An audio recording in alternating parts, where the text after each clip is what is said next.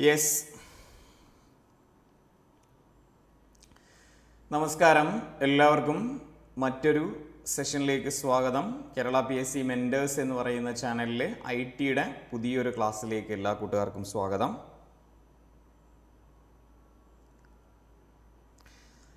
കേൾക്കാൻ പറ്റുന്നുണ്ടോ? Visual okay ആണോ? എന്നൊന്ന് കമന്റ് ചെയ്യണേ. നമുക്ക് പതിയെ തുടങ്ങാം.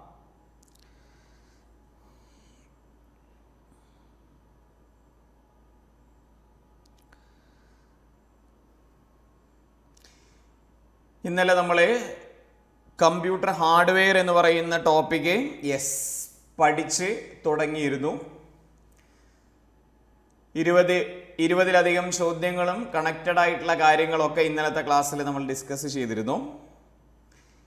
ഇന്നത്തെ ക്ലാസ്സിൽ ഹാർഡ്വെയറിന്റെ തന്നെ ഇന്നലെ നമ്മൾ ഇൻപുട്ട് ഔട്ട്പുട്ട് ഡിവൈസുമായി ബന്ധപ്പെട്ട കുറച്ച് കാര്യങ്ങളാണ് ഡിസ്കസ് ചെയ്തതെങ്കിൽ ഇന്ന് ഹാർഡ്വെയറിന്റെ മറ്റൊരു ഭാഗമായ കമ്പ്യൂട്ടർ മെമ്മറി എന്ന് പറയുന്ന ഭാഗമാണ് ഇന്നത്തെ ക്ലാസ്സിൽ നമ്മൾ ചർച്ച ചെയ്യുന്നത്.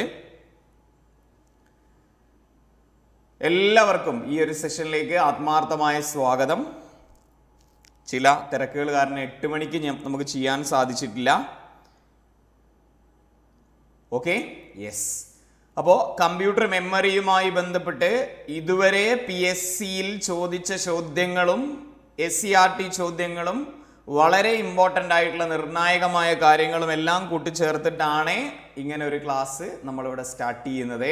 എല്ലാവർക്കും സ്വാഗതം.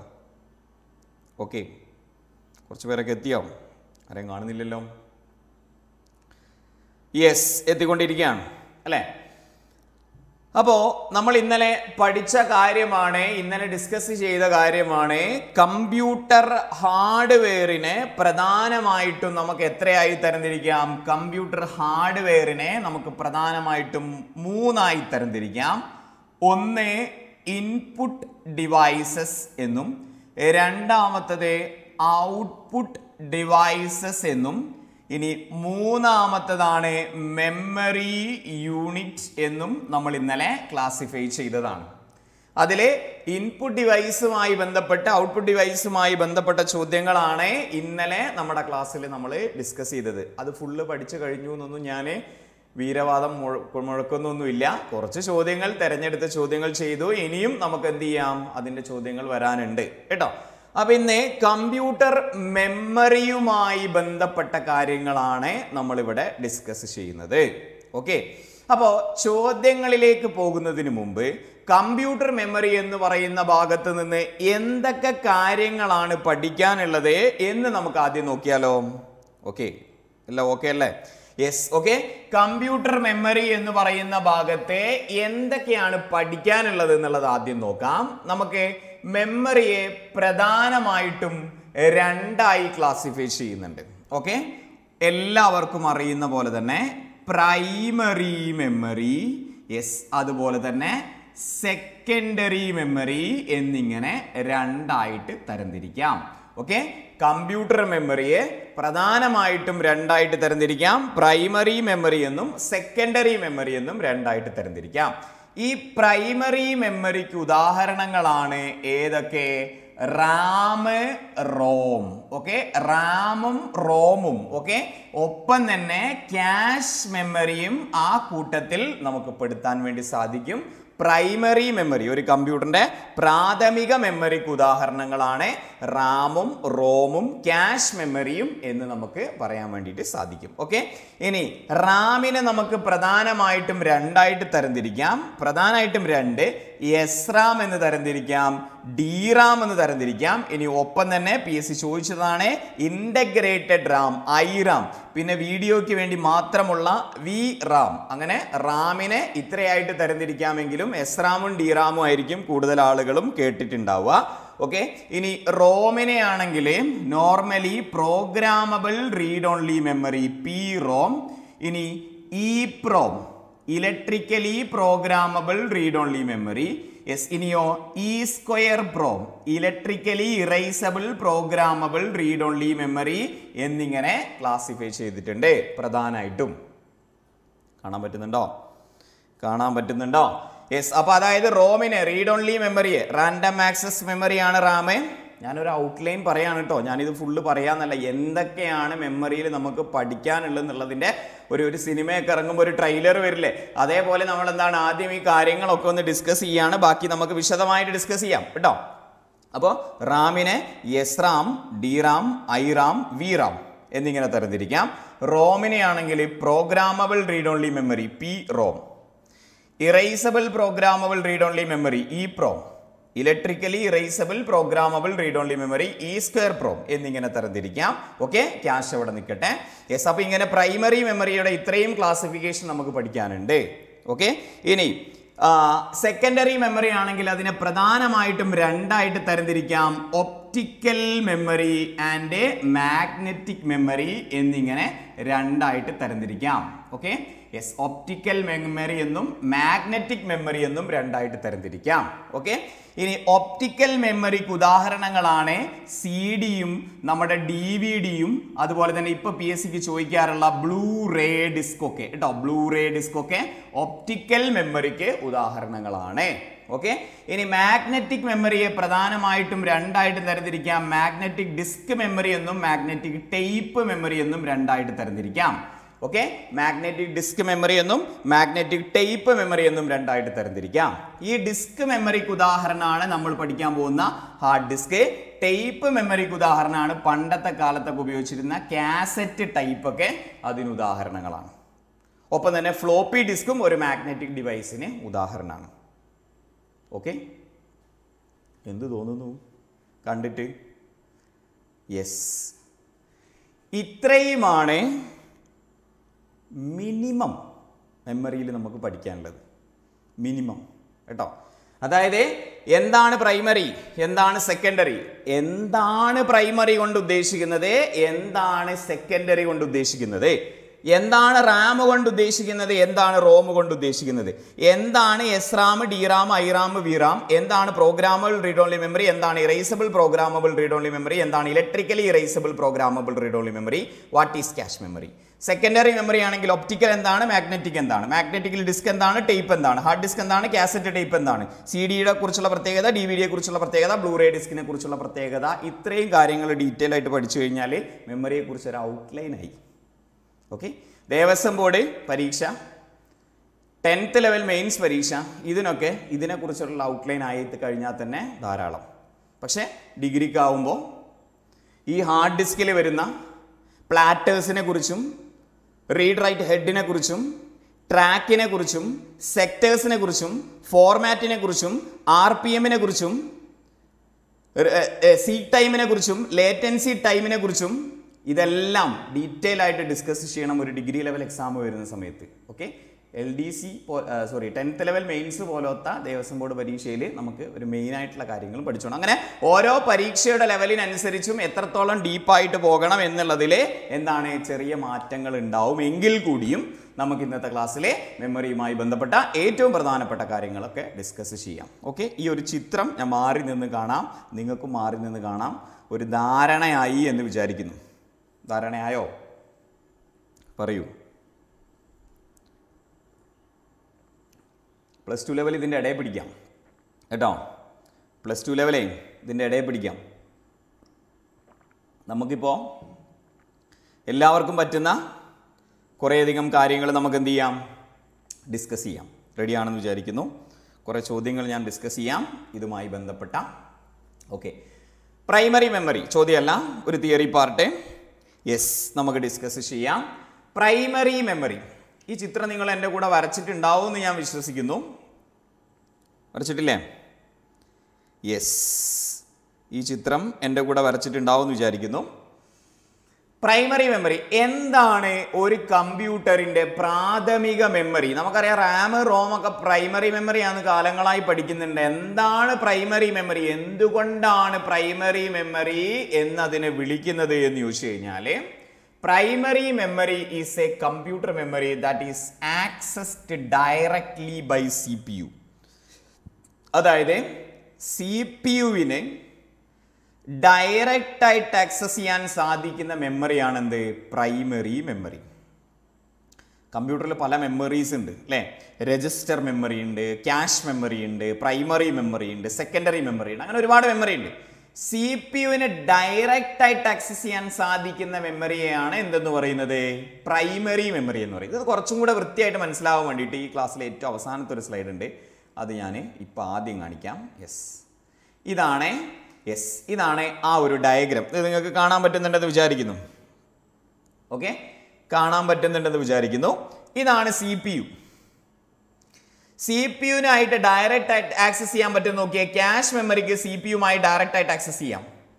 ഓക്കെ പ്രൈമറി മെമ്മറിക്കും ഡയറക്റ്റ് ആയിട്ട് ആക്സസ് ചെയ്യാം. സെക്കൻഡറി മെമ്മറിക്ക് പ്രൈമറി മെമ്മറിയുടെ സഹായത്തോടു കൂടി മാത്രമേ സി പി യുനെ ആക്സസ് ചെയ്യാൻ വേണ്ടിയിട്ട് സാധിക്കുന്നുള്ളൂ. ഈ ചിത്രത്തിൽ നിന്ന് അത് വ്യക്തമാണ്. അല്ലേ? അപ്പൊ സി പി യുമായി ഡയറക്റ്റ് ആയിട്ട് ആക്സസ് ചെയ്യാൻ സാധിക്കുന്ന മെമ്മറിയാണ് പ്രൈമറി മെമ്മറി സി പി യുവിന് ഡയറക്റ്റ് ആക്സസ് ഉള്ളത്. അപ്പോൾ പ്രൈമറി മെമ്മറി വരും. അതായത് റാമും റോമും ഒക്കെ വരും. ക്യാഷ് മെമ്മറിയും ഒക്കെ ഡയറക്റ്റ് ആയിട്ട് സി പി യുവിന് ആക്സസ് ചെയ്യാൻ പറ്റും. ഇപ്പുറത്ത് കിടക്കുന്ന സെക്കൻഡറി മെമ്മറിക്ക് ഡയറക്റ്റ് ആക്സസ് ഇല്ല. പ്രൈമറി മെമ്മറിയുടെ സഹായത്തോടു കൂടിയിട്ട്. കേട്ടോ? ദ്വിതീയ എന്നൊക്കെ പറഞ്ഞ് നമ്മൾ പലപ്പോഴായിട്ട് കണ്ടിട്ടുണ്ട് അല്ലേ? സെക്കൻഡറി എന്ന് വെച്ച് കഴിഞ്ഞാൽ എന്താണ്? ഒന്നാമത്തെ ഇതിനെന്താ പറയുക പ്രാഥമികത്തെ ആശ്രയിക്കുന്നവയല്ലേ നമ്മൾ ദ്വിതീയ എന്ന് പറയാം. അല്ലെ? പ്രൈമറി മെമ്മറിയെ ആശ്രയിക്കുന്നവയാണ് സെക്കൻഡറി മെമ്മറി എന്നുള്ളത് ഈ ചിത്രത്തിൽ നിന്ന് മനസ്സിലാക്കാൻ വേണ്ടിയിട്ട് സാധിക്കും കേട്ടോ. സി പി യുനെ ഡയറക്റ്റ് ആയിട്ട് ആക്സസ് ചെയ്യുന്ന മെമ്മറിയാണ് പ്രൈമറി മെമ്മറി എന്നുള്ള കാര്യം എന്ത് ചെയ്യാം? നോട്ട് ചെയ്ത് വെക്കാം കേട്ടോ. ഇനി നമുക്ക് ചോദ്യത്തിലേക്ക് കിടക്കാം. എസ് പിന്നെ ഇത് ഞാൻ വരച്ചതാണ്. റാം എസ് റാം ഉണ്ട് ഡി റാം ഉണ്ട് റോം ആണെങ്കിലോ programmable read only memory erasable programmable read only memory electrically erasable programmable read only memory E square എന്നാണ് ഞാൻ അവിടെ എഴുതിയത്. E square means E E P R O M കേട്ടോ. Electrically erasable programmable read only memory okay ഇനി ചോദ്യത്തിലേക്ക് കിടക്കാം. ബാക്കി അപ്പോൾ ഡയറക്റ്റ് ആയിട്ട് സി പി ആക്സസ് ചെയ്യാൻ പറ്റുന്ന മെമ്മറി പ്രൈമറിയും അല്ലാത്തത് സെക്കൻഡറിയും ഡയറക്റ്റ് ആയിട്ട് ആക്സസ് ചെയ്യാൻ പറ്റാത്തത് സെക്കൻഡറി എന്നും നോട്ട് ചെയ്ത് വെക്കാം. ഓക്കെ ക്ലിയർ ആണെന്ന് വിചാരിക്കുന്നു. കമ്പ്യൂട്ടറിന്റെ വിവരങ്ങൾ സ്ഥിരമായി ശേഖരിച്ചു വെക്കുന്ന ഉപകരണം ഏതാണ്? കമ്പ്യൂട്ടറിൽ വിവരങ്ങൾ സ്ഥിരമായി ശേഖരിച്ചു വെക്കുന്ന ഉപകരണം ഏതാണ്? സ്ഥിരമായി ശേഖരിച്ചു വെക്കുന്ന ഉപകരണം കമ്പ്യൂട്ടറിൽ. പെർമനന്റ് ആയിട്ട് ഡാറ്റ സ്റ്റോർ ചെയ്യുന്നത്. ഓക്കെ ഹാർഡ് ഡിസ്കിൽ പെർമനന്റ് ആയിട്ട് ഡാറ്റ സ്റ്റോർ ചെയ്യുമോ അത് എവിടെയാണെന്ന് ആലോചിച്ചാൽ ആ ചിത്രം ആദ്യത്തെ ചിത്രമില്ലേ? ആദ്യം ഞാൻ വരച്ച ചിത്രമില്ലേ? അത് പലപ്പോഴായി നിങ്ങൾക്ക് ഉപയോഗിക്കേണ്ടതായിട്ട് വരും. ശ്രദ്ധിച്ച് മനസ്സിലാക്കി വെക്കുക. ഇതിൽ പ്രൈമറി മെമ്മറിയിൽ ഞാൻ പറഞ്ഞതുണ്ട് സെക്കൻഡറി മെമ്മറിയിൽ പറഞ്ഞതുണ്ട്. കമ്പ്യൂട്ടറിൽ വിവരങ്ങൾ സ്ഥിരമായി സൂക്ഷിച്ചു വെക്കേണ്ടത് ഏതാണെന്ന് ചോദിച്ചു കഴിഞ്ഞാൽ ഏതാണ്? എസ് ഹാർഡ് ഡിസ്ക് ആണോ? സി ഡി ആണോ? ഫ്ലോപ്പി ഡിസ്ക് ആണോ? പ്രൈമറി മെമ്മറി ആണോ ഏതാണ്? സ്ഥിരമായി ഡാറ്റ സൂക്ഷിച്ചു വെക്കുന്നത് ഹാർഡ് ഡിസ്കിലാണ് എന്ന പോയിന്റ് എന്ത് ചെയ്യാം? നോട്ട് ചെയ്ത് വെക്കാം. കേട്ടോ? ഹാർഡ് ഡിസ്കിലാണ് സ്ഥിരമായി ഡാറ്റ സൂക്ഷിച്ചു വെക്കുന്ന മെമ്മറി ഏതാണെന്ന് ചോദിച്ചു കഴിഞ്ഞാൽ എസ് ഹാർഡ് ഡിസ്ക് ആണ് എന്ന് നോട്ട് ചെയ്ത് വെക്കാം. റോം ചിപ്പ് വേർഷനുകൾക്ക് ഉദാഹരണം ഏതാണ്? റോമിന്റെ വകഭേദങ്ങൾക്ക് ഉദാഹരണം ഇതിലേത് എന്നുള്ളതാണ് ചോദ്യം. റോം ചിപ്പ് വേർഷനുകൾക്ക് ഉദാഹരണം. P ROM E PROM E E PROM all of these yes ROM ചിപ്പിന്റെ വേർഷനുകൾക്ക് ഉദാഹരണം ഏതാണ് എന്ന് ചോദിച്ചു കഴിഞ്ഞാൽ.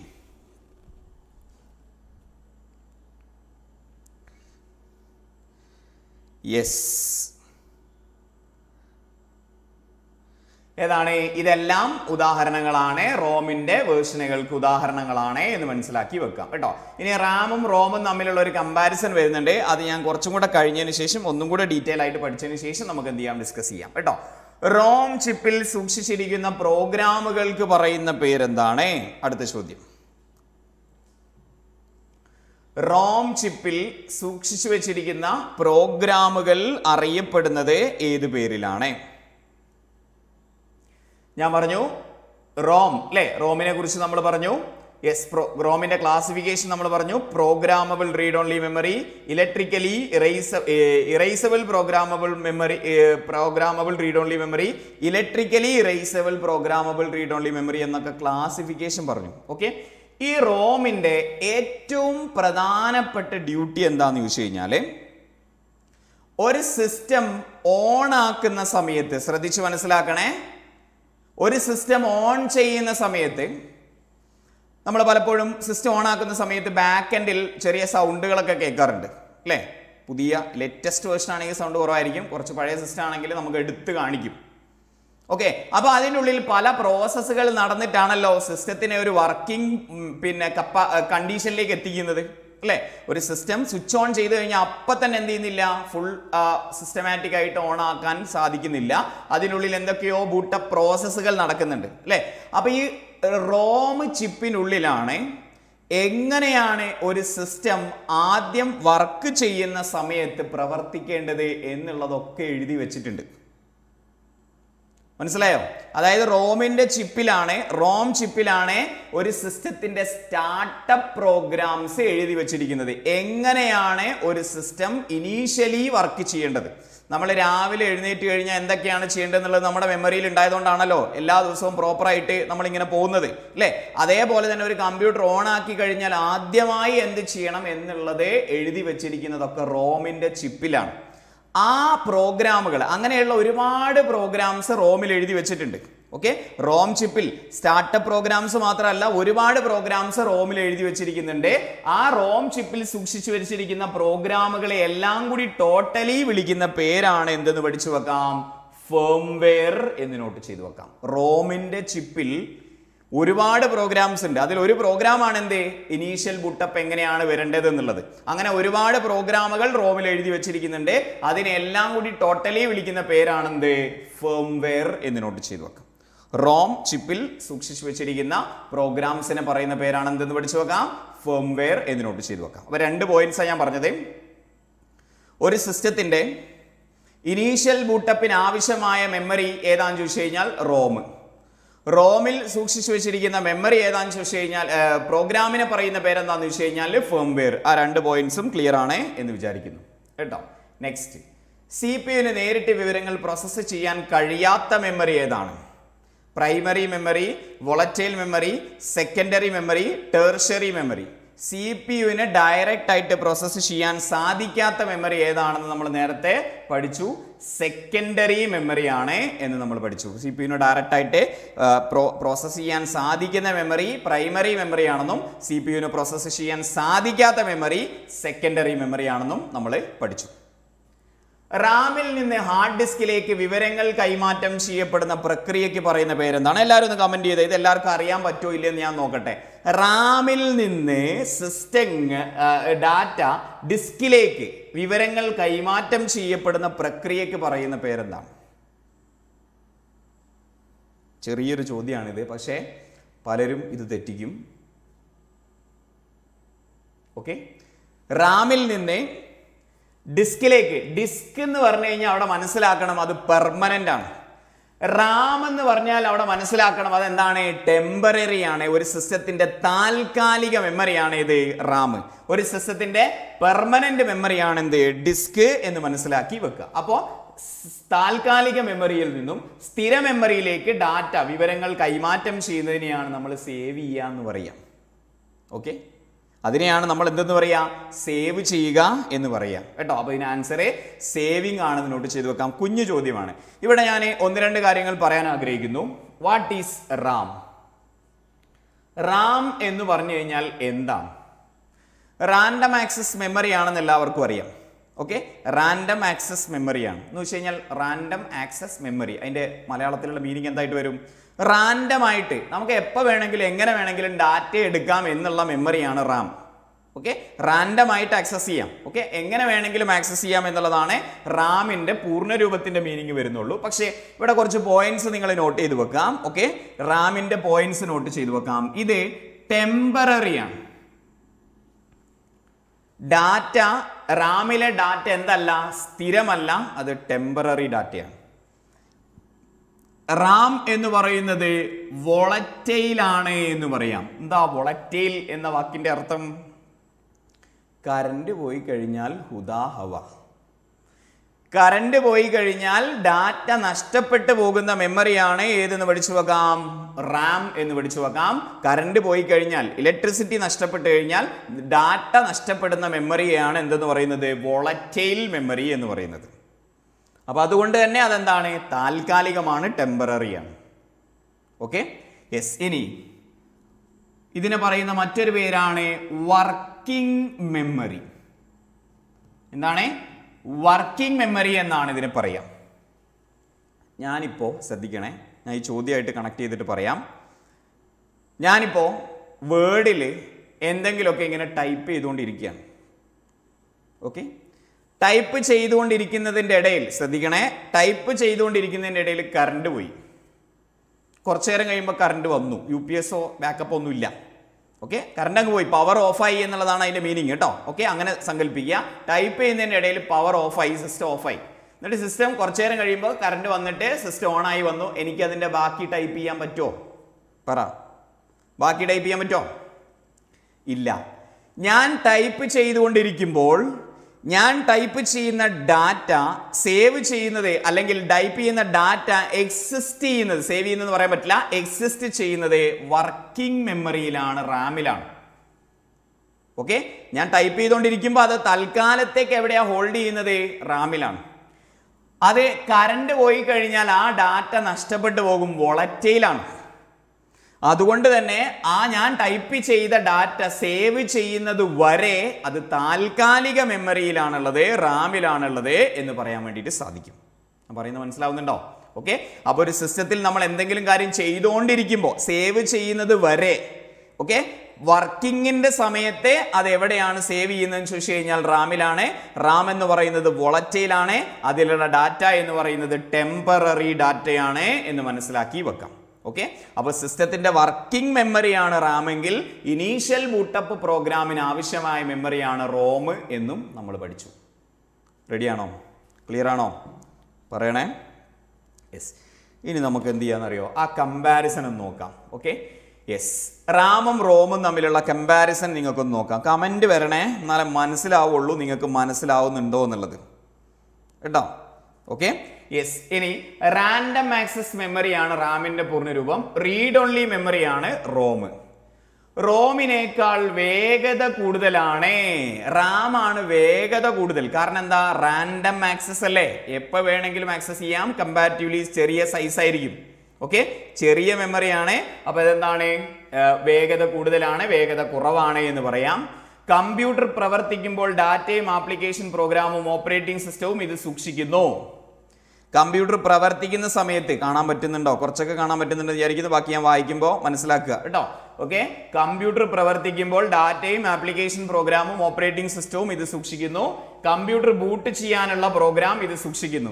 ഇനീഷ്യൽ ബൂട്ടപ്പിന് ആവശ്യമായ ഡാറ്റ ഇത് സൂക്ഷിക്കുന്നു. പോയോ? യെസ് ഇനി ഡാറ്റയുടെ സംഭരണവും വീണ്ടെടുക്കലും ഇത് അനുവദിക്കുന്നു.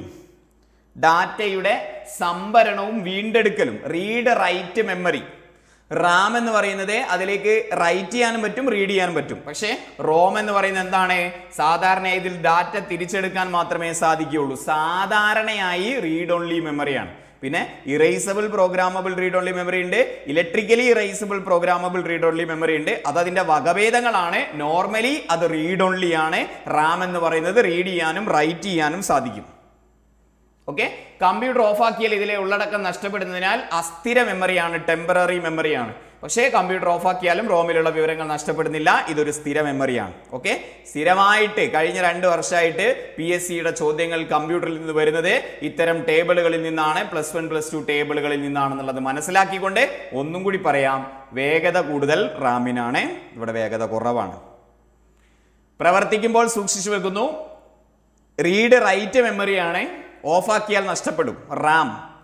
റോമോ ബൂട്ടിംഗ് പ്രോസസ്സിന് ആവശ്യമായ മെമ്മറിയാണ് അല്ലേ? എസ് പിന്നെ ഇനീഷ്യൽ ബൂട്ടപ്പിന് ആവശ്യമായ മെമ്മറിയാണ്. റീഡ് ഓൺലി മെമ്മറിയാണ് നോർമലി പക്ഷേ വകഭേദങ്ങളുണ്ട്. നോർമലി റീഡ് ഓൺലി മെമ്മറിയാണ്. ഇനി കമ്പ്യൂട്ടർ ഓഫാക്കിയാലും റോമിലെ വിവരങ്ങൾ നഷ്ടപ്പെട്ടു പോകുന്നില്ല. അതാണ് റോമിന്റെ പ്രത്യേകത. ഓക്കെ? ക്ലിയർ ആണോ? സെറ്റല്ലേ യെസ് കമന്റ് ബോക്സ് സജീവാവട്ടെ. അടുത്ത ചോദ്യത്തിലേക്ക് പോയിക്കോട്ടെ. യെസ് ഇത്തിരി സ്പീഡ് കൂട്ടാം അല്ലേ? റാമിനെ സംബന്ധിച്ച് ശരിയായ വിവരം ഏതാണ്? ആ ഇത്രയും പഠിച്ച സ്ഥിതിക്ക് ഇനി എന്തായാലും പെട്ടെന്ന് ഉത്തരം പറയാം. റാമിനെ സംബന്ധിച്ച് ശരിയായ പ്രസ്താവന ഏതൊക്കെയാണ്? സ്റ്റാറ്റിക് ഡൈനാമിക് റാം എന്നിങ്ങനെ തരംതിരിച്ചിരിക്കുന്നു. ഉവ്വോ അങ്ങനെ ഉണ്ടോ? ഒരു വൊളറ്റൈൽ മെമ്മറിയാണ് ആണോ. റീഡ് ആൻഡ് റൈറ്റ് മെമ്മറി എന്നറിയപ്പെടുന്നു. ആണോ? യെസ് എല്ലാം ശരിയാണ്. ഏതാ? ഏതാ? റാമിനെ സംബന്ധിച്ചിടത്തോളം. സ്റ്റാറ്റിക് റാമും ഡൈനാമിക് റാമും ഇല്ലേ? ഉണ്ട്. ഓക്കെ എസ് ഇനി പിന്നെ വോളറ്റൈൽ മെമ്മറിയാണ് ആണല്ലോ കറണ്ട് പോകുമ്പോൾ ഡാറ്റ നഷ്ടപ്പെട്ടു പോകുമല്ലോ? ഓക്കെ ആണല്ലോ. റീഡ് ആൻഡ് റൈറ്റ് മെമ്മറി എന്നറിയപ്പെടുന്നു. റീഡ് ചെയ്യാനും റൈറ്റ് ചെയ്യാനും സാധിക്കുന്നു. അതും ഓക്കെയാണ് അപ്പോൾ ഓൾ ഓഫ് ദീസ് ആണ് ശരിയായ ഉത്തരം. ഓക്കെ കിട്ടുന്നുണ്ടെന്ന് വിചാരിക്കുന്നു. കമ്പ്യൂട്ടറിന്റെ ഏറ്റവും ചെറിയ മെമ്മറി യൂണിറ്റ് ഏതാണ്? കൃത്യമായി മനസ്സിലാക്കി വെക്കാം. കമ്പ്യൂട്ടറിന്റെ ഏറ്റവും ചെറിയ മെമ്മറി യൂണിറ്റ് ഏതാണ്? മെമ്മറി എന്ന് കേൾക്കുമ്പോൾ നമ്മുടെ മനസ്സിലേക്ക് കുറേ കാര്യങ്ങൾ വരും. അല്ലേ? കെ ബി വരും എം ബി വരും ജി ബി വരും ടി ബി വരും അല്ലേ? ഒരുപാട് കാര്യങ്ങൾ വരും. ഇതിന്റെയൊക്കെ ഏറ്റവും ബേസിക് ആയിട്ടുള്ള യൂണിറ്റ് ഏതാണെന്ന് അറിയാമോ യെസ് അത് സീറോ വൺ എന്ന് പറയുന്ന രണ്ട് ബിറ്റുകളാണ് മെമ്മറിയുടെ ഏറ്റവും ചെറിയ യൂണിറ്റ് എത്ര വലിയ ഡാറ്റ ആണെങ്കിലും എം ബി ആയിക്കോട്ടെ ജി ബി ആയിക്കോട്ടെ ടി ബി ആയിക്കോട്ടെ ഏത് വലിയ കൊമ്പാനാണെങ്കിലും അതിന്റെ ഏറ്റവും ചെറിയ യൂണിറ്റ് എന്ന് പറയുന്നത് ബിറ്റുകളാണ് സീറോ വൺ എന്നുള്ളതാണ്. കേട്ടോ. മെമ്മറിയുടെ ഏറ്റവും ചെറിയ യൂണിറ്റ് ഏതാണെന്ന് ചോദിച്ചു കഴിഞ്ഞാൽ ബിറ്റ് എന്ന് നോട്ട് ചെയ്തു വെക്കാം. യെസ് അവിടെ തന്നെ ഞാൻ പറയാം. യെസ് മെമ്മറിയുടെ ഏറ്റവും ചെറിയ യൂണിറ്റ് ബിറ്റ് ആണെങ്കിൽ നാല് ബിറ്റുകൾ കൂടി ചേർന്ന് കഴിഞ്ഞാൽ നാല് ബിറ്റുകൾ കൂടി ചേർന്നാലേ എന്ത് കിട്ടും എന്ന് ചോദിച്ചു കഴിഞ്ഞാൽ ഒരു നിബിൾ കിട്ടും എന്ന് മനസ്സിലാക്കി വെക്കുക. അതായത് ഒരു എക്സാമ്പിൾ പറയുകയാണെങ്കിൽ പിന്നെ എന്താണ് വൺ സീറോ വൺ സീറോ ഇതെന്താണ്? നാല് ബിറ്റില്ലേ അതിനെ നമുക്ക് ഒരു നിബിളാണ് എന്ന് പറയാൻ വേണ്ടിയിട്ട് സാധിക്കും. കേട്ടോ? അപ്പൊ നാല് ബിറ്റുകൾ കൂടി ചേർന്ന് കഴിഞ്ഞാൽ ഒരു നിബിൾ ഇപ്പൊ ഇത് മാത്രമല്ല വൺ സീറോ വൺ വൺ ഒരു നിബിളാണ്. വൺ വൺ സീറോ സീറോ ഒരു നിബിളാണ്. അങ്ങനെ നാലെണ്ണത്തിന്റെ കോമ്പിനേഷൻ നാല് ബിറ്റ് കൂടി ചേർന്നാൽ അതിനൊക്കെ എന്താന്ന് പറയാൻ സാധിക്കും? ഒരു നിബിൾ എന്ന് പറയാൻ വേണ്ടി സാധിക്കും. ഓക്കെ ഇനി എട്ട് ബിറ്റിനെ കൂടി ചേർന്ന് കഴിഞ്ഞാൽ എട്ട് കോമ്പിനേഷൻ ആണ് എന്തെന്ന് പഠിച്ചു വെക്കാം? ഒരു ബൈറ്റ് എന്ന് നോട്ട് ചെയ്തു വെക്കാം. എട്ട് കോമ്പിനേഷൻ ആണ് ഒരു ബൈറ്റ്. ഓക്കെ എട്ട് ബിറ്റിനെയാണ്. അതായത് എട്ട് bit one zero one one one zero one one എന്ന് പറയുന്നത് എന്താണ്? എട്ട് ബിറ്റ് അല്ലേ? ഇതിനെ ഒരു ബൈറ്റ് എന്ന് പറയാൻ വേണ്ടി സാധിക്കും. അപ്പോൾ മെമ്മറിയുടെ ഏറ്റവും ചെറിയ യൂണിറ്റ് ബിറ്റ് നാല് ബിറ്റുകൾ കൂടി ചേർന്നാൽ അതിനെ ഡിബിൾ എന്ന് പറയും. എട്ട് ബിറ്റുകൾ കൂടി ചേർന്ന് കഴിഞ്ഞാൽ അതിനെന്തെന്ന് പറയും? ഒരു ബൈറ്റ് എന്ന് പറയും. കേട്ടോ? ബാക്കി സാഹചര്യത്തിനനുസരിച്ച് പിന്നീട് ഡിസ്കസ് ചെയ്യാം. മെമ്മറിയുടെ ഏറ്റവും ചെറിയ യൂണിറ്റ് ഏതെന്നുള്ളതായിരുന്നു ചോദ്യം? ബിറ്റ്. ഓപ്റ്റിക്കൽ ഡിസ്കുകൾക്ക് ഉദാഹരണം ഏതാണ്? ഞാൻ നേരത്തെ ഡയഗ്രത്തിൽ വരച്ചത് തന്നെയാണ് ഇവിടെ. ഒപ്റ്റിക്കൽ ഡിസ്കുകൾക്ക് ഉദാഹരണം ഏത് എന്നുള്ളതാണ് ചോദ്യം. C D D V D Blu-ray disc all of these. Optical ഡിസ്കുകൾക്ക് ഉദാഹരണം ഏതാണ്? സി ഡി ആണോ ഡി വി ഡി ആണോ ബ്ലൂറേ ഡിസ്ക് ആണോ എല്ലാം ഉണ്ടോ? എസ് എല്ലാം ഉണ്ട് അല്ലേ? എസ് എല്ലാം. സി ഡിയും ഡി വി ഡിയും ബ്ലൂറേ ഡിസ്കും ഒക്കെ ഒപ്റ്റിക്കൽ ഡിസ്കിന് ഉദാഹരണമാണ് എന്ന് നമ്മൾ പഠിച്ചതാണ്. ഹാർഡ് ഡിസ്കിൽ സെക്ടറും ട്രാക്കും കേട്ടോ ട്രാക്കും എന്നുള്ളതാണ്. സൃഷ്ടിക്കുന്ന പ്രക്രിയയ്ക്ക് പറയുന്ന പേരെന്താണ്? സെക്ടറും ട്രാക്കും സൃഷ്ടിക്കുന്ന പ്രക്രിയ. ഇതിപ്പോൾ ഇവിടെ ഇങ്ങനെ പറഞ്ഞു കഴിഞ്ഞാൽ മനസ്സിലാവോ? പറയാം. യെസ് ഇവിടെ ഒരു ചിത്രം ഉണ്ടല്ലോ.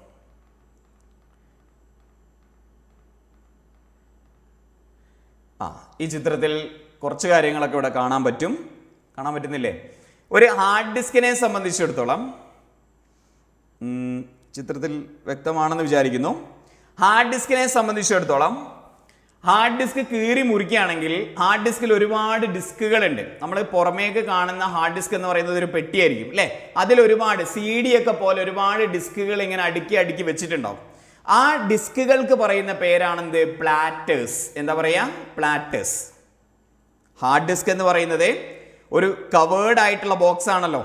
ഓക്കെ യെസ് അത് നിങ്ങൾ കണ്ടിട്ടുണ്ടാവും നിങ്ങളുടെ മനസ്സിലുണ്ടാവും എന്ന് വിചാരിക്കുന്നു. ഓക്കെ ആ ഹാർഡ് ഡിസ്കിനുള്ളിൽ ഒരുപാട് പ്ലാറ്റേഴ്സ് ഉണ്ട്. സി ഡി പോലെ ഒരുപാട് ഡിസ്കുകളുണ്ട് ആ ഡിസ്കുകളെ വിളിക്കുന്ന പേരാണ് പ്ലാറ്റേഴ്സ് ആ ഡിസ്കിന്റെ ചിത്രമാണ് ഇവിടെ കൊടുത്തിരിക്കുന്നത്.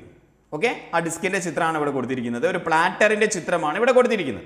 ഇതുപോലെയുള്ള ഒരുപാട് ഡിസ്കുകൾ ആ ഹാർഡ് ഡിസ്കിന്റെ കപ്പാസിറ്റി എത്രയാണോ അതിനനുസരിച്ച് അഞ്ചോ പത്തോ പതിനഞ്ചോ ഒക്കെ ഡിസ്കുകൾ ഉണ്ടാവും. അതിലൊരു ഡിസ്കാണ് ഇവിടെ കൊടുത്തിരിക്കുന്നത്. ഓക്കെ ഇനി ഇതിലുള്ള ഇൻഡിവിജ്വൽ ആയിട്ട് ഇങ്ങനെ ഒരുപാട് സർക്കിൾസ് കണ്ടോ നിങ്ങളെ? കണ്ടില്ലേ? ഈ സർക്കിൾസിനെ പറയുന്ന പേരാണ് ട്രാക്കുകൾ ഓക്കെ ഒരു ഹാർഡ് ഡിസ്കിലെ ഡിസ്കിനെ പറയുന്ന പേരെന്താണ്? പ്ലാറ്റേഴ്സ് മനസ്സിലാവുന്നുണ്ടെന്ന് വിചാരിക്കുന്നു. ഒരു ഹാർഡ് ഡിസ്കിലെ ഇൻഡിവിജ്വൽ ഡിസ്കിനെ പറയുന്ന പേര് പ്ലാറ്റേഴ്സ് ആ പ്ലാറ്റേഴ്സിന്റെ സർഫസിലുള്ള ഇതുപോലുള്ള കോൺസെൻട്രിക് സർക്കിൾസിനെ പറയുന്ന പേരാണ് എന്ത് ട്രാക്കുകൾ ട്രാക്ക് ഓക്കെ ഇനി അതിനെ ഉപയോഗിക്കാൻ എളുപ്പത്തിന് വേണ്ടിയിട്ട് നമ്മുടെ കയ്യിൽ ഇപ്പോൾ ഒരു കഷ്ണം കേക്ക് കിട്ടി കിട്ടിക്കഴിഞ്ഞാൽ ആ കേക്ക് ഇങ്ങനെ വട്ടത്തിൽ മുറിച്ച് നമ്മൾ കഴിക്കുമോ അതോ ഉപയോഗിക്കാൻ എളുപ്പത്തിന് വേണ്ടിയിട്ട് ചെറിയ ചെറിയ പീസുകളാക്കി മാറ്റുമോ പീസുകളാക്കി മാറ്റൂലേ? അതേപോലെ തന്നെ ട്രാക്ക് എന്ന് പറഞ്ഞ വലിയ വട്ടാണെങ്കിലും യെസ് അതിനെ ഉപയോഗിക്കാൻ എളുപ്പത്തിന് വേണ്ടി ചെറിയ ചെറിയ പീസുകളാക്കി മാറ്റുന്നതിനെയാണ് എന്തെന്ന് പറയുന്നത്? സെക്ടർ എന്ന് പറയുന്നത്. മനസ്സിലാവുന്നുണ്ടോ?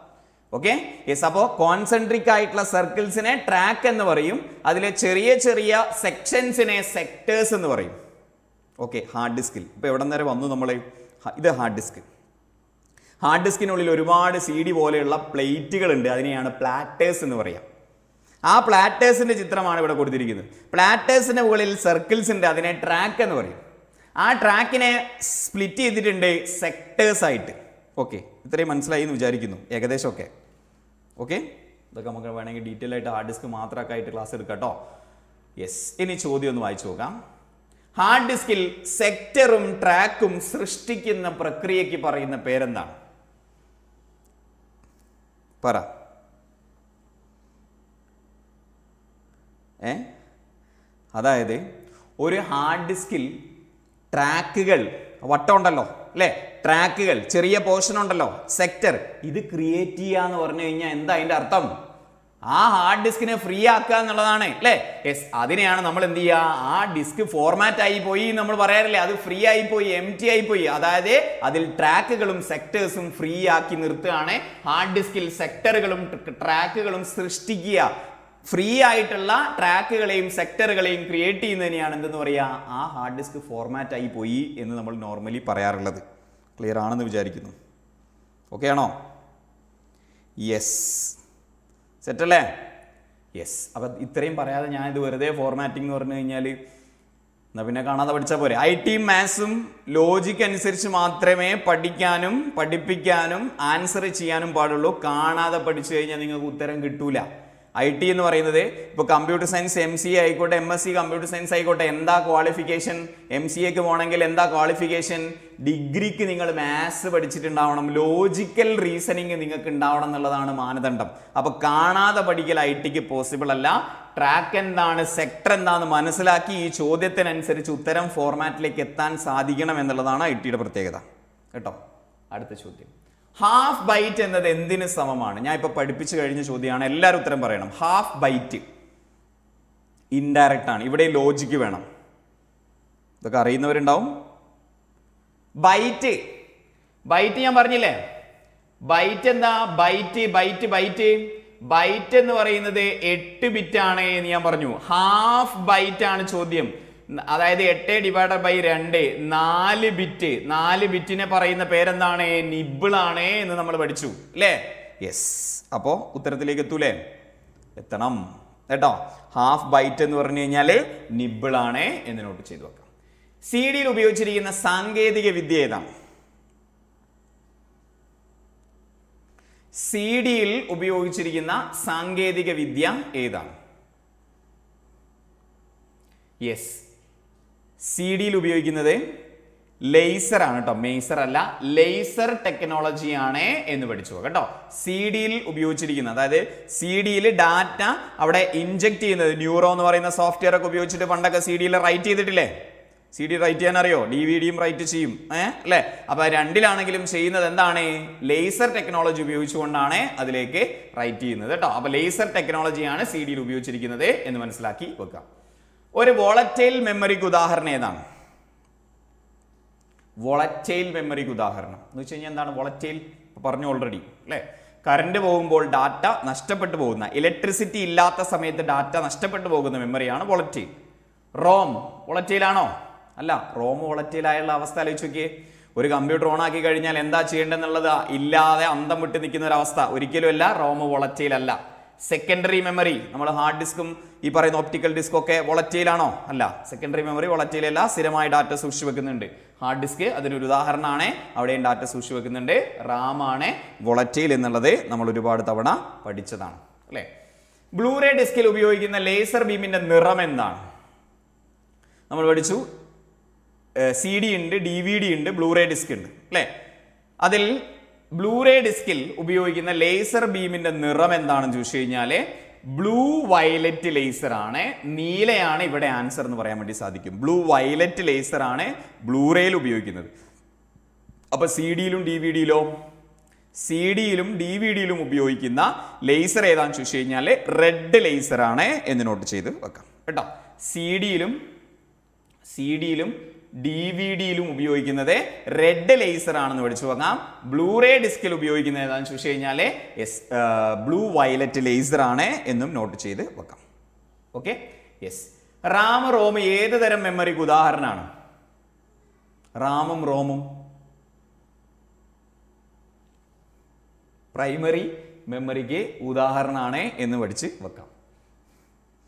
ഒരു സാധാരണ ഡി വി ഡിയുടെ സംഭരണശേഷി എത്രയാണ് എന്ന് ചോദിച്ചു കഴിഞ്ഞാൽ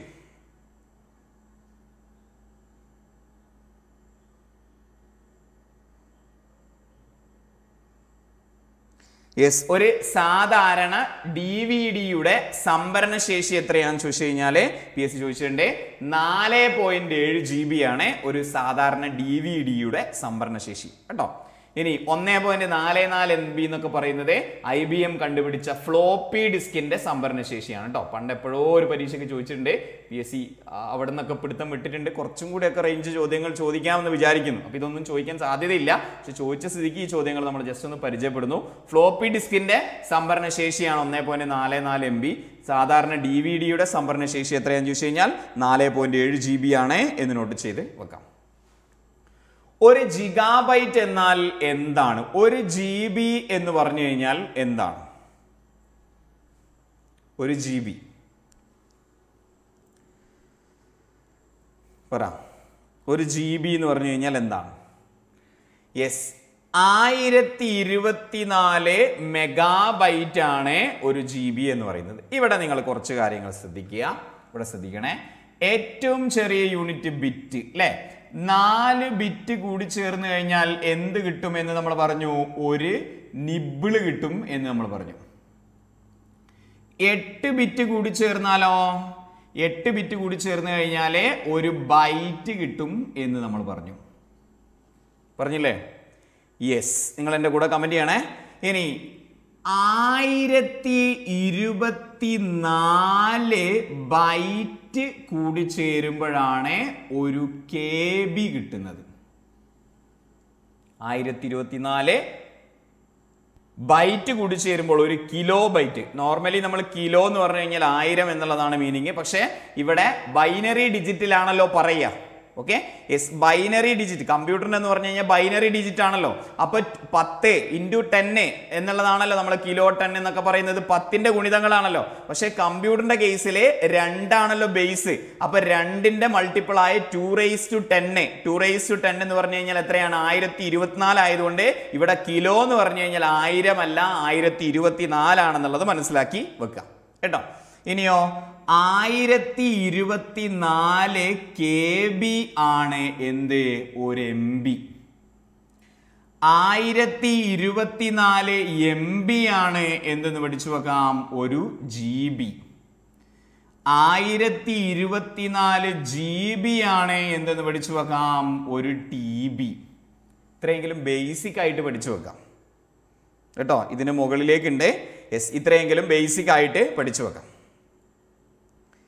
യെസ് ഇതിന് മുകളിലേക്ക് എന്താന്ന് വെച്ച് കഴിഞ്ഞാൽ ആയിരത്തി ഇരുപത്തിനാല് ടി ബി ആണ് ഒരു പെറ്റാബൈറ്റ് പി ബി ആയിരത്തി ഇരുപത്തിനാല് പി ബി ആണ് ഒരു എക്സാബൈറ്റ് ആയിരത്തി ഇരുപത്തിനാല് ഇ ബി ആണ് സെറ്റാബൈറ്റ് ഓക്കെ ആയിരത്തി ഇരുപത്തിനാല് സെറ്റാബൈറ്റ് ആണ് ഒരു യോട്ടാബൈറ്റ് എന്ന് നോട്ട് ചെയ്ത് വെക്കാം. പെസി എന്ന് പഠിച്ചു വെച്ചാൽ മതി. എന്താണ്?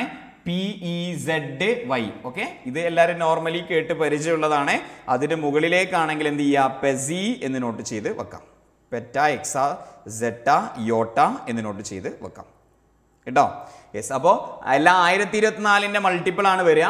നാല് ബിറ്റ് ഒരു നിബിൾ ആണ് എട്ട് ബിറ്റ് ഒരു ബൈറ്റ് ആണ്. ആയിരത്തി ഇരുപത്തിനാല് ബൈറ്റ് ഒരു കെ ബി ആയിരത്തി ഇരുപത്തിനാല് കെ ബി ഒരു എം ബി ആയിരത്തി ഇരുപത്തിനാല് എം ബി ഒരു ജി ബി ആയിരത്തി ഇരുപത്തിനാല് ജി ബി ഒരു ടി ബി ആയിരത്തി ഇരുപത്തിനാല് ടി ബി ഒരു പി ബി പെറ്റാബൈറ്റ് എന്നാണ് പറയാം. ആയിരത്തി ഇരുന്നാൽ പി ബി ഒരു എക്സാബൈറ്റ് ആയിരത്തി ഇരുപത്തിനാല് എക്സാബൈറ്റ് ഒരു സെറ്റാബൈറ്റ് ആയിരത്തി ഇരുപത്തിനാല് സെറ്റാബൈറ്റ് ഒരു യോട്ടാബൈറ്റ് എന്നുള്ളത് അഡ്വാൻസ് ചെയ്ത് പഠിക്കാം. കേട്ടോ?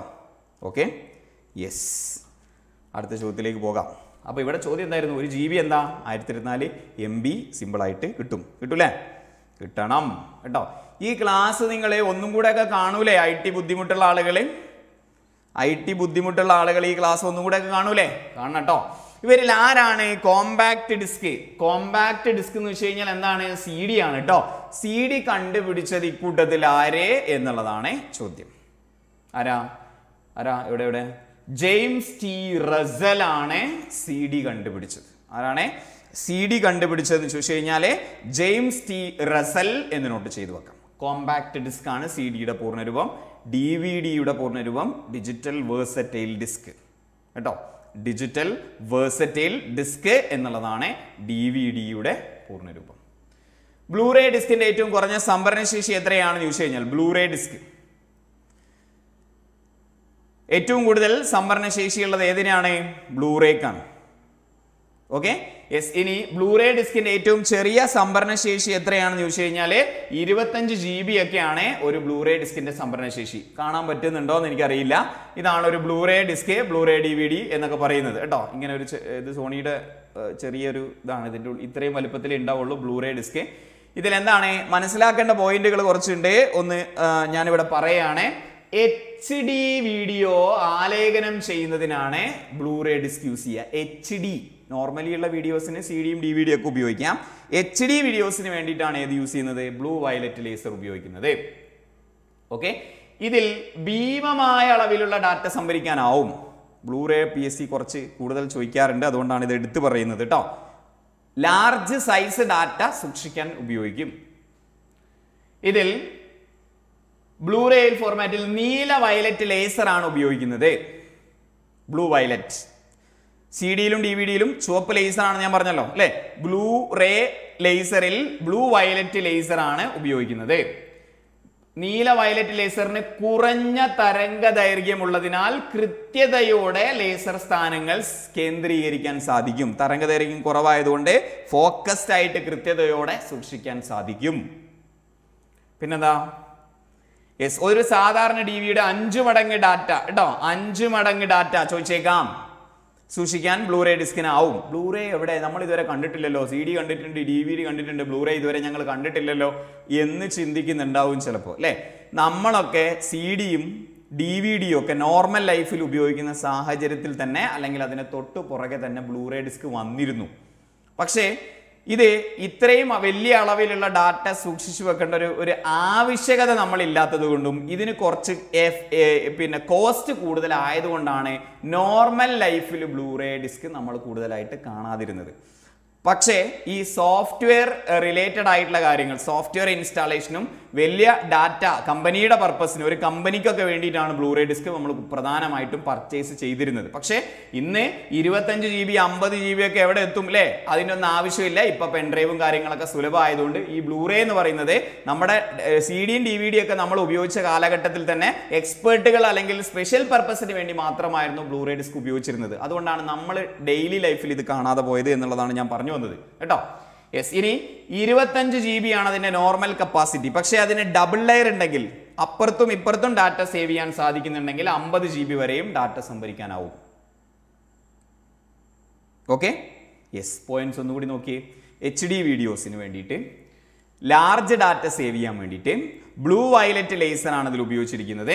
കൃത്യതയോടെ തരംഗദൈർഘ്യം കുറവായതുകൊണ്ട് കൃത്യതയോടെ സൂക്ഷ്മതയോടെ കൂടിയിട്ട് നമുക്ക് അതിൽ ഇൻസേർട്ട് ചെയ്യാൻ വേണ്ടി സാധിക്കും. ഡി വി ഡിയുടെ അഞ്ച് മടങ്ങ്. ഒരു ലെയർ ആണെങ്കിൽ ഇരുപത്തഞ്ച് ജി ബി രണ്ട് ലെയർ ആണെങ്കിൽ അമ്പത് ജി ബി ഒക്കെയാണ് അതിന്റെ കപ്പാസിറ്റി ഓക്കെ ക്ലിയർ ആണോ? ഓക്കെ ആണോ? യെസ് സി ഡിയിൽ എങ്ങനെയാണ് ഡാറ്റ സേവ് ചെയ്യുന്നത്? ഡി വി ഡിയിൽ എങ്ങനെയാണ് ഡാറ്റ സേവ് ചെയ്യുന്നത്? അതേപോലെ തന്നെ. പക്ഷേ ഇതിൽ ഉപയോഗിക്കുന്നത് ബ്ലൂ വയലറ്റ് ലേസർ ഇതിന്റെ കപ്പാസിറ്റി കൂടുതലാണ് ഇരുപത്തഞ്ച് ജി ബി മുതൽ അമ്പത് ജി ബി വരെ. ഡി വി ഡിയുടെ അഞ്ച് മടങ്ങ് കപ്പാസിറ്റി ഉണ്ട്. എച്ച് ഡി വീഡിയോസ് സേവ് ചെയ്യാനാണ് ഇത് ഉപയോഗിക്കുന്നത്. ഓക്കെ ക്ലിയർ ആണെന്ന് വിചാരിക്കുന്നു? യെസ് നെക്സ്റ്റ് റോം ചിപ്പിൽ സൂക്ഷിക്കുന്ന പ്രോഗ്രാമുകൾ അറിയപ്പെടുന്നത് പേരെന്താണ്? സാന്ദർഭി അറിയാതെ വന്നതാണ്. പക്ഷേ ഇതിന് ആൻസർ നിങ്ങൾക്ക് കമന്റ് ചെയ്യാം. റോം ചിപ്പിൽ സൂക്ഷിച്ചു വെച്ചിരിക്കുന്ന പ്രോഗ്രാമുകളെ അറിയപ്പെടുന്ന പേരെന്താ? യെസ് നമ്മൾ പഠിച്ചല്ലേ ഫേംവെയർ ഹാർഡ് ഡിസ്കിനെ വേഗത അളക്കുന്ന യൂണിറ്റ് ഏതാണ്? ഹാർഡ് ഡിസ്കിന്റെ വേഗത അളക്കുന്ന യൂണിറ്റ് ഏതാണ്? ഹാർഡ് ഡിസ്കിനെ കുറിച്ച് നമ്മൾ എന്തൊക്കെ പറഞ്ഞു? ഹാർഡ് ഡിസ്കിൽ ഇൻഡിവിജ്വൽ ആയിട്ടുള്ള പ്ലേറ്റുകൾ ഉണ്ട് പ്ലാറ്റേഴ്സ് അതിലുള്ള സർക്കിൾസിനെ ട്രാക്ക് എന്ന് പറയും. അതിലുള്ള ചെറിയ ഭാഗങ്ങളെ സെക്ടർ എന്ന് പറയും. അത് ഫ്രീ ആക്കുന്ന പ്രോസസ്സിനെ ഫോർമാറ്റിംഗ് എന്ന് പറയും. പെർമനന്റ് ആയിട്ട് ഡാറ്റ സേവ് ചെയ്ത് വെക്കാനാണ് ഉപയോഗിക്കുക. സെക്കൻഡറി മെമ്മറിയാണ് ഇതൊക്കെ നമ്മൾ പഠിച്ചതാണ്. അല്ലേ? ഇനി ഹാർഡ് ഡിസ്കിന്റെ വേഗത അളക്കുന്ന യൂണിറ്റ് ഏതാന്ന് ചോദിച്ചു കഴിഞ്ഞാൽ റവല്യൂഷൻസ് പെർ മിനിറ്റ് ആണ് എന്ന് പഠിച്ചു വെക്കാം. ആർ പി എം ആണ് എന്ന് നോട്ട് ചെയ്ത് വെക്കാം. കേട്ടോ? R P M revolutions per minute ആണ് നമ്മുടെ ഇതിന്റെ വേഗത അളക്കുന്ന യൂണിറ്റ് കേട്ടോ? ഹാർഡ് ഡിസ്കിന്റെ വേഗത അളക്കുന്ന യൂണിറ്റ് ഏതാന്ന് ചോദിച്ചു കഴിഞ്ഞാൽ റവല്യൂഷൻസ് പെർ മിനിറ്റ് ആണ് എന്ന് നോട്ട് ചെയ്ത് വെക്കാം. ഫ്ലോപ്പി ഡിസ്ക് കണ്ടുപിടിച്ചത് ആരാണ്? ഒന്നേ പോയിന്റ് നാല് നാല് എം ബി കപ്പാസിറ്റി ഒക്കെ ഉള്ള പണ്ട് കാലത്ത് ഉപയോഗിച്ചിരുന്ന മാഗ്നറ്റിക് മെമ്മറിയാണ് ഫ്ലോപ്പി ഡിസ്ക് ഇത് കണ്ടുപിടിച്ചത് ആര് എന്നുള്ളതാണ് നമ്മുടെ ചോദ്യം. യെസ് ആരാണ്? അലൻ ഷുഗാട്ടാണ്. കേട്ടോ? യെസ് അലൻ ഷുഗാട്ടാണ് ഫ്ലോപ്പി ഡിസ്ക് കണ്ടുപിടിച്ചത്. ഇതെല്ലാം നമുക്ക് കമ്പ്യൂട്ടർ സയൻസിൽ ആവശ്യമുള്ള ആളുകളാണ്. കമ്പ്യൂട്ടറിന്റെ പിതാവ് ചാൾസ് ബാബേജ്. കമ്പ്യൂട്ടർ സയൻസിന്റെ പിതാവ് അലൻ ട്യൂറിങ്. ജാക്ക് കിൽബി ആരാ? ആരാ? ജാക്ക് കിൽബി നമ്മളെ ഐ സി ചിപ്പ് കണ്ടുപിടിച്ച ആളാണ് ജാക്ക് കിൽബി കേട്ടോ? ഐ സി ചിപ്പ് കണ്ടുപിടിച്ച ആളാണ് ജാക്ക് കിൽബി എന്ന് നോട്ട് ചെയ്തു വെക്കാം. അദ്ദേഹത്തിന് അതിന് നോബൽ പ്രൈസ് ഒക്കെ ഫിസിക്സിൽ നോബൽ പ്രൈസ് ഒക്കെ ലഭിച്ചിട്ടുണ്ട്. ഐ സി ചിപ്പ് കണ്ടുപിടിച്ചതിന് കേട്ടോ. ജാക്ക് കിൽബി എസ് മൂന്നാം തലമുറയിൽ ഉപയോഗിച്ചിരുന്നു. അപ്പൊ കമ്പ്യൂട്ടർ സയൻസിന്റെ പിതാവാണ് അലൻ ഡ്യൂറിങ്. കമ്പ്യൂട്ടറിന്റെ പിതാവാണ് ചാൾസ് ബാബേജ്. ഫ്ലോപ്പി ഡിസ്ക് കണ്ടുപിടിച്ചത് അലൻ ഷുഗാട്ടാണ് എന്നും നോട്ട് ചെയ്ത് വെക്കാം. കേട്ടോ? യെസ് സി പി യുവിന് നേരിട്ട് വിവരങ്ങൾ പ്രോസസ്സ് ചെയ്യാൻ കഴിയാത്ത മെമ്മറി യെസ് ഏതാണ്? സെക്കൻഡറി മെമ്മറി ആണെന്ന് ഓൾറെഡി നമ്മൾ പഠിച്ചു.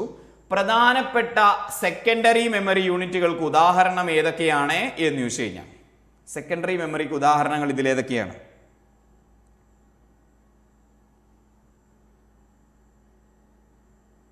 ഓക്കെ സെക്കൻഡറി മെമ്മറിക്ക് ഉദാഹരണം ഏതൊക്കെയാണ്? ഫ്ലോപ്പി ഡിസ്ക് സെക്കൻഡറി മെമ്മറിയാണ് ഹാർഡ് ഡിസ്ക് സെക്കൻഡറി മെമ്മറിയാണ് പെൻഡ്രൈവും സി ഡിയും സെക്കൻഡറി മെമ്മറിയാണ് ഇതെല്ലാം സെക്കൻഡറി മെമ്മറിക്ക് ഉദാഹരണമാണ് എന്ന് പഠിച്ചു നോക്കാം. ഇനി പെട്ടെന്ന് പറഞ്ഞാൽ ആയിരത്തി ഇരുപത്തിനാല് ജി ബി എന്താണ് comment comment box പൊളിക്ക്.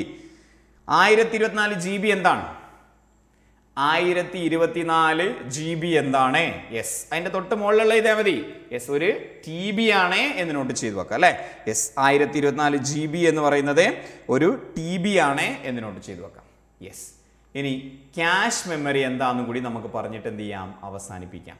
Okay yes ഇവിടെ നോക്കിയേ നിങ്ങൾ ക്യാഷ് മെമ്മറി ശ്രദ്ധിച്ചിരിക്കണേ. വളരെ സിമ്പിളായിട്ട് മനസ്സിലാവുന്ന ചെറിയൊരു കാര്യമാണ് ക്യാഷ് മെമ്മറി പലപ്പോഴായിട്ടും ചോദ്യപേപ്പറിൽ ചോദിക്കാറുള്ള ഒരു സംഭവമാണ് ക്യാഷ് മെമ്മറി എസ് ഇത് C P U C P യുവിന് ആവശ്യമായ മെമ്മറി ആണ് എവിടെ കിടക്കുന്നത്? ക്യാഷ് മെമ്മറിയിലും പ്രൈമറി മെമ്മറിയിലും കിടക്കുന്നത്. ഓക്കെ അപ്പോൾ സി പി യുവിനെ ഡയറക്റ്റ് ആയിട്ട് ആക്സസ് ചെയ്യാൻ സാധിക്കുന്ന മെമ്മറിയാണ് പ്രൈമറി മെമ്മറി എന്നുള്ള പോയിന്റ്സ് ഒക്കെ നമ്മൾ എന്ത് ചെയ്തു? പഠിച്ചിട്ടുണ്ട്. ഓക്കെ ഒരു മിനിറ്റ് രണ്ട് മിനിറ്റ് രണ്ട് മിനിറ്റ് ഇവിടെ ശ്രദ്ധിക്കുക. ക്യാഷ് മെമ്മറി എന്താണെന്നുള്ളത് ഇനി ഒരിക്കലും തെറ്റാത്ത രീതിയിൽ പഠിച്ചു വെക്കാം. ശ്രദ്ധിക്കുക. സി പി യുവിനെ അതായത് തലച്ചോറിന് ആവശ്യമായ ഡാറ്റ പ്രോസസ്സ് ചെയ്യാൻ ആവശ്യമായ ഡാറ്റയൊക്കെ എവിടെയുണ്ട്? പ്രൈമറി മെമ്മറിയിലുണ്ട് ഓക്കെ പ്രൈമറി മെമ്മറിയിൽ എല്ലാ ഡാറ്റയും അവിടെ ഉണ്ട്. പക്ഷേ എല്ലായ്പ്പോഴും പ്രൈമറി മെമ്മറിയെ ആക്സസ് ചെയ്യാൻ ആർക്ക് സാധിക്കില്ല? സി പി യുവിന് സാധിക്കില്ല. പല കാരണങ്ങൾ കൊണ്ട്. പ്രൈമറി മെമ്മറിയിൽ നിന്നൊരു ഡാറ്റ പോയി എടുത്തു കൊണ്ടുവരണമെങ്കിൽ കുറച്ച് സമയം പിടിക്കും. ഓക്കെ ടൈം കൺസ്യൂമിംഗ് ആണ്. നമുക്ക് ഏറ്റവും പെട്ടെന്ന് വേണ്ട ഡാറ്റയൊക്കെ പ്രൈമറി മെമ്മറിയിൽ നിന്ന് ആക്സസ് ചെയ്യുക എന്ന് പറഞ്ഞത് കുറച്ച് റിസ്ക് ആണ്. ഓക്കെ അപ്പൊ അപ്പോ തൽക്കാലത്തേക്ക് ക്യാഷ് മെമ്മറിയിൽ ആ ഡാറ്റയുടെ റഫറൻസ് ഉണ്ടാവും. ആ data C P U access ചെയ്യും. അപ്പൊ അത്തരത്തിൽ താൽക്കാലികമായ ഡാറ്റയെ സൂക്ഷിച്ചു വെക്കാനാണ് ഏത് യൂസ് ചെയ്യുക? രജിസ്റ്റർ മെമ്മറി യൂസ് ചെയ്യുക. ഓക്കെ ചിലർക്ക് മനസ്സിലായിട്ടുണ്ടാവും ചിലർക്ക് മനസ്സിലായിട്ടുണ്ടാവില്ല. ഒരു കാര്യം മാത്രം നിങ്ങൾ ശ്രദ്ധിക്കുക. യെസ് ആ. ഇമേജ് ആണോ? യെസ്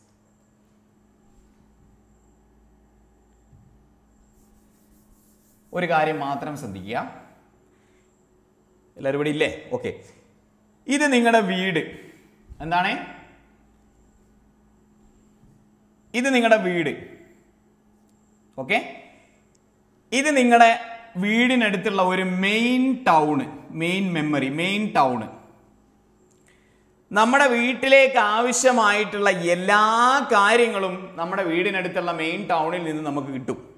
അതായത് ഗ്രോസറി സാധനങ്ങളായിക്കോട്ടെ ഇറച്ചി ആയിക്കോട്ടെ മീനായിക്കോട്ടെ ടി വി ആയിക്കോട്ടെ ഫ്രിഡ്ജ് ആയിക്കോട്ടെ ഹോസ്പിറ്റൽ ആയിക്കോട്ടെ എന്റർടൈൻമെന്റ് ആയിക്കോട്ടെ സിനിമ ആയിക്കോട്ടെ എല്ലാം നമ്മുടെ ഒരു മെയിൻ ടൗൺ ഉണ്ടാവുമല്ലോ നമുക്കൊക്കെ. അവിടെ നിന്ന് കിട്ടും.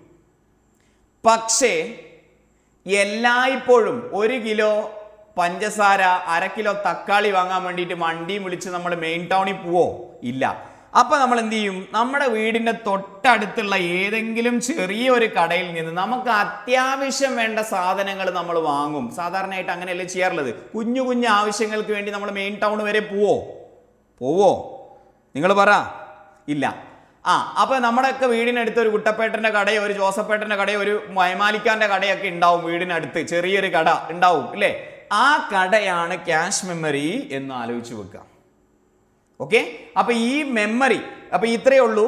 നമുക്ക് എല്ലാ സംഭവങ്ങളും കിട്ടുന്ന പ്രൈമറി മെമ്മറി അവിടെ ഉണ്ട്. പക്ഷേ സമയം ലാഭിക്കാൻ വളരെ ഫാസ്റ്റായിട്ട് ആക്സസ് ചെയ്യാൻ വേണ്ടിയിട്ട് ഏറ്റവും അത്യാവശ്യമുള്ള സാധനങ്ങൾ എല്ലാം കിട്ടൂല കുട്ടപ്പേട്ടന്റെ കടയിൽ കിട്ടുമോ കുട്ടപ്പേട്ടന്റെ കടയിൽ എല്ലാം കിട്ടുമോ ഇല്ല. അത്യാവശ്യം വേണ്ട സാധനങ്ങൾ എമർജൻസി ആയി വേണ്ട സാധനങ്ങൾ താൽക്കാലികമായി വേണ്ട സാധനങ്ങളെല്ലാം എവിടെ ഉണ്ടാവും? നമ്മുടെ വീടിനടുത്തുള്ള കടയിൽ ഉണ്ടാവും ക്യാഷ് മെമ്മറിയിൽ ഉണ്ടാവും ക്യാഷ് മെമ്മറി ചെറുതാണ്. കുട്ടപ്പേട്ടന്റെ കട ചെറുതാണ്. ഞാൻ പറഞ്ഞ മനസ്സിലാവുന്നുണ്ടോ? അപ്പോൾ വീടിനടുത്തുള്ള ചെറിയ കടയിൽ ചെറിയ സാധനങ്ങൾ അത്യാവശ്യം വേണ്ട സാധനങ്ങൾ പെട്ടെന്ന് എടുക്കാൻ പറ്റുന്ന പോലെ നമുക്ക് മെമ്മറിയെ സംബന്ധിച്ചിടത്തോളം അവിടെ മെയിൻ ടൗണിൽ പോയി ആക്സസ് ചെയ്യുന്നതിന് പകരം ഇങ്ങനെ എടുക്കാന്ന് പറഞ്ഞ പോലെ തന്നെ പ്രൈമറി മെമ്മറിയിൽ എല്ലായ്പ്പോഴും ഡാറ്റ ആക്സസ് ചെയ്യുന്നതിന് പകരം അതിനൊരു റെഫറൻസ് ആയിട്ട് അത്യാവശ്യം വേണ്ട കാര്യങ്ങൾ നമുക്ക് സി പി യുവിന് എത്തിച്ചു കൊടുക്കാൻ ആവശ്യമായ സി പി യുവിനെ സഹായിക്കുന്ന മെമ്മറിയാണ് cache memory okay yes clear ആണോ? ക്യാഷ് മെമ്മറി എന്താണ്? അപ്പൊ ക്യാഷ് മെമ്മറി എങ്ങനെയാ ചോദ്യം വരിക? സി പി യുവിനോട് അടുത്ത് നിൽക്കുന്ന സി പി യുവിനെ സഹായിക്കുന്ന മെമ്മറി ഏതാണ്? ഓക്കെ യെസ് ഇനി എന്തൊക്കെയാണ് ഇവിടെ പറഞ്ഞിരിക്കുന്നത് നോക്കാം. പ്രോസസറിന്റെയും റാമിന്റെയും അഥവാ മെയിൻ മെമ്മറിയുടെയും ഇടക്കുള്ള വേഗതയേറിയ മെമ്മറിയാണ് ക്യാഷ് മെമ്മറി അങ്ങനെ തന്നെ അല്ലേ ഇവിടെ നോക്കിയാൽ നിങ്ങൾ സി പി യുവിന്റെയും റാമിന്റെയും അതായത് പ്രൈമറി മെമ്മറിയുടെയും ഇടയിലുള്ള വേഗതയേറിയ മെമ്മറിയാണ് ക്യാഷ് മെമ്മറി ഓക്കെ ഇടയ്ക്കിടെ ആവശ്യമായി വരുന്ന ഡാറ്റയും നിർദ്ദേശങ്ങളും ഇടക്കാല ഫലങ്ങളും വേഗത്തിലെടുക്കാൻ ക്യാഷ് മെമ്മറിയിൽ സൂക്ഷിക്കുന്നു. പ്രോസസർ റാമിലെ ഒരു ലൊക്കേഷനിൽ പിന്നെ സംഭരിക്കുകയോ അതിൽ നിന്ന് തിരിച്ചെടുക്കുകയോ ചെയ്യുമ്പോൾ ആദ്യം ക്യാഷ് മെമ്മറിയിൽ ഡാറ്റയുടെ ഒരു കോപ്പി ഉണ്ടോ എന്ന് പരിശോധിക്കും. മെയിൻ ടൗണിൽ പോകുന്നതിന് മുമ്പ് ക്യാഷ് മെമ്മറിയിൽ ഉണ്ടോ നോക്കും. ചെറിയ കടയിൽ ഉണ്ടോ നോക്കും. ഇല്ലെങ്കിലേ അവിടെ പോവുള്ളൂ. മനസ്സിലായോ? ഓക്കെ റാമിനേക്കാൾ വേഗത ക്യാഷ് മെമ്മറിയിൽ നിന്ന് ഡാറ്റ തിരിച്ചെടുക്കുന്നു. റാമിനേക്കാൾ വിലയേറിയതാണ് ക്യാഷ് മെമ്മറി സി പി യുവിന്റെ മദർ ബോർഡിന്റെയും ഇടയിലുള്ള ക്യാഷ് മെമ്മറി സിസ്റ്റത്തിന്റെ പ്രകടനം മെച്ചപ്പെടുത്താൻ വേണ്ടി സഹായിക്കുന്നു. അത്യാവശ്യമുള്ള കാര്യങ്ങൾ പെട്ടെന്ന് ആക്സസ് ചെയ്യാൻ പറ്റുന്നത് കൊണ്ട് നമുക്ക് എന്ത് ചെയ്യാം? അത് സി പി യുവിന് വളരെയധികം ഗുണം ചെയ്യുന്നു. ഓക്കെ യെസ് അപ്പോൾ ഒരു മണിക്കൂർ ക്ലാസ്സിൽ മെമ്മറിയുമായി ബന്ധപ്പെട്ട് റാം അത്യാവശ്യം വേണ്ട കാര്യങ്ങൾ റോം അത്യാവശ്യം വേണ്ട കാര്യങ്ങൾ ക്യാഷ് മെമ്മറി പിന്നെ ഹാർഡ് ഡിസ്ക് സെക്കൻഡറി മെമ്മറിയുടെ ഓപ്റ്റിക്കൽ ഡിസ്ക് അതുപോലെ തന്നെ ഹാർഡ് ഡിസ്കുമായി ബന്ധപ്പെട്ട കാര്യങ്ങൾ ഒരു ജനറൽ സംഭവങ്ങൾ ഔട്ട്ലൈന് കിട്ടിയെന്ന് വിചാരിക്കുന്നു. കിട്ടിയോ? കമന്റ് പറയണേ.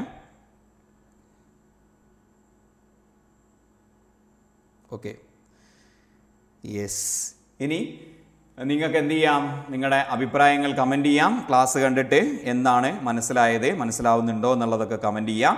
തീർച്ചയായിട്ടും അപ്പോൾ ഹാർഡ്വെയർ എന്ന് പറയുന്ന സെഷനിൽ ഇന്നലെ നമ്മൾ ഇൻപുട്ട് ഔട്ട്പുട്ട് ഡിവൈസുമായി ബന്ധപ്പെട്ട ഓവറോൾ ക്ലാസ് ആണ് ചെയ്തത്. ഇന്ന് മെമ്മറിയുമായി ബന്ധപ്പെട്ട ഒരു ഓവറോൾ ക്ലാസ് ആണ് ചെയ്തത്.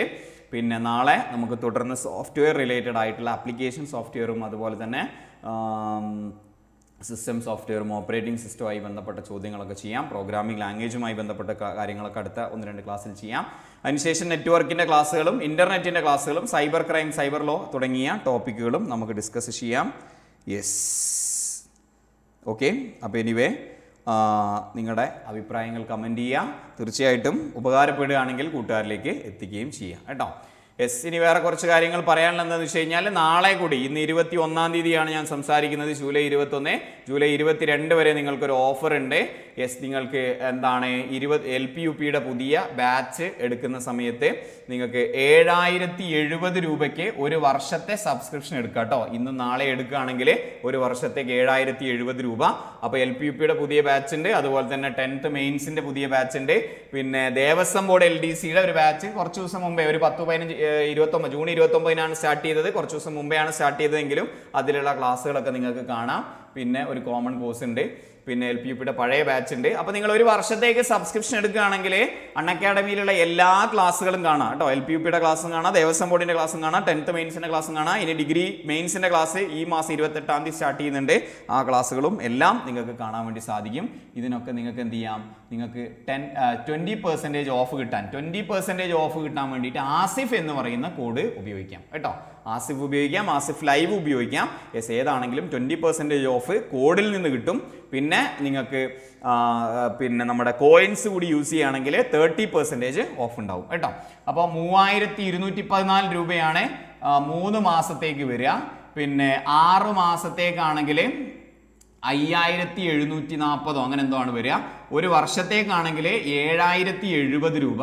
പിന്നെ ഒന്നര വർഷത്തേക്കാണെങ്കിൽ എട്ടായിരത്തി നാനൂറ് രൂപ. എസ് ഇനി രണ്ട് വർഷത്തേക്കാണെങ്കിൽ പതിനായിരത്തി ഇരുന്നൂറ്റി എൺപത്തി രണ്ട് രൂപയാണ് വരിക. എപ്പോൾ നാളെ രാത്രി പന്ത്രണ്ട് മണി വരെ. കേട്ടോ? അതിന് ശേഷമാണെങ്കിൽ നിങ്ങളുടെ എമൗണ്ട് ചിലപ്പോൾ കുറച്ച് കൂടുമായിരിക്കും അപ്പോൾ ആസിഫ് എന്ന് പറയുന്ന കോഡോ ആസിഫ് ലൈവ് എന്ന് പറയുന്ന കോഡോ ഉപയോഗിക്കാം. എന്തെങ്കിലും ആവശ്യത്തിന് സംശയങ്ങൾ എന്തെങ്കിലും ഉണ്ടെങ്കിൽ എന്നെ കോൺടാക്റ്റ് ചെയ്യുകയും ചെയ്യാം. അപ്പോൾ ഇന്നത്തെ ക്ലാസ് അതൊക്കെ അവിടെ നിൽക്കട്ടെ. ക്ലാസ് മനസ്സിലായി എന്ന് വിചാരിക്കുന്നു ഉപകാരപ്പെടുന്നുണ്ട് എന്ന് വിചാരിക്കുന്നു. ബാക്കി ക്ലാസ് നാളെ ചെയ്യാം. അപ്പോൾ രണ്ട് പാർട്ടായി ഇന്നലത്തെ പാർട്ടും കാണാൻ വേണ്ടിയിട്ട് ശ്രമിക്കുക. ഇന്ന് രാത്രി പത്ത് മണിക്ക് രസതന്ത്രം നിത്യജീവിതത്തിൽ എന്ന് പറയുന്ന ടോപ്പിക്കും കുറച്ച് കറണ്ട് അഫയേഴ്സ് ചോദ്യങ്ങളുമാണ് രാത്രി പത്ത് മണിയുടെ ക്ലാസ്സിൽ ഡിസ്കസ് ചെയ്യുന്നത്. നന്ദി നമസ്കാരം. Thank you see you bye എന്തെങ്കിലും സംശയം ഉണ്ടോ? സംശയം ഉണ്ടെങ്കിൽ ചോദിക്കാം. അല്ലെങ്കിൽ നോട്ട് ചെയ്ത് വെച്ചിട്ട് നാളെ ചോദിക്കണമെങ്കിൽ അങ്ങനെയും ചോദിക്കാം. യെസ് യെസ് ഇന്ന് ഇരുപതാണ് അല്ലേ? ആ ഇന്ന് ഇരുപത് നാളെ ഇരുപത്തൊന്ന്. അപ്പോൾ ഇരുപത്തിരണ്ട് വരെ ഉണ്ടെന്ന് തോന്നുന്നു ഓഫർ യെസ് കമന്റ് കണ്ടാൽ റിപ്ലൈ തരണേന്ന് കണ്ടു. വൺ അവർ ആയാൽ പിന്നെ കാണാൻ പറ്റുന്നില്ല. ഇന്നലത്തെ ടെൻ പി എം ലൈവ് ഇടയ്ക്ക് വെച്ച് നിന്ന് പോയി. നെറ്റ്വർക്കിന്റെ എന്തെങ്കിലും പ്രശ്നമായിരിക്കണം കോമൺ ആയിട്ട് അങ്ങനെ ഒരു പ്രശ്നമില്ല.